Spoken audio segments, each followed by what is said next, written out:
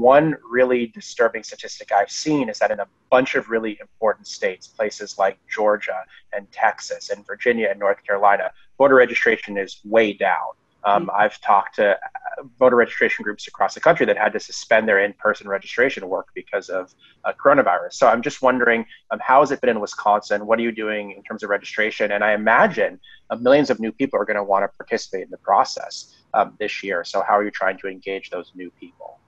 Yeah, I mean, we see it as, you know, kind of a one two conversation about making sure that people are registered. If they need to register, being able to walk them through that over the phone or via text message, um, being able to help people navigate that process. And then also saying, great, now that you're registered, request your ballots. Um, so we're able to have all of those conversations.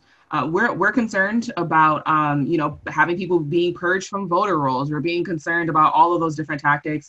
Um, and so we actually um, are launching our third fellowship program. Uh, we did a we do a fellowship program every year, um, and this one in particular is going to be focused um, around voter registration. So our fellowship program will have 15 people. The first session will be the mid July and instead in, instead of just learning just the basics of civics and the basics of organizing they're going to get those skills but they're also have three hours of what we call field work which will now be a little bit more virtual. Um, but their three hours of field work is going to be dedicated to um, getting out information about how to register to vote um, and then absentee voting as well so we're incorporating that um, into our, our programs. We still have ambassadors who are getting constantly trained. Um, our organizer, she physically has been walking people through how to um, how to register to vote in a lot of different cases. So we're making that a, a really big priority because we know some of the challenges and obstacles, whether it be people being purged from the voter rolls, voter registration, just not understanding how to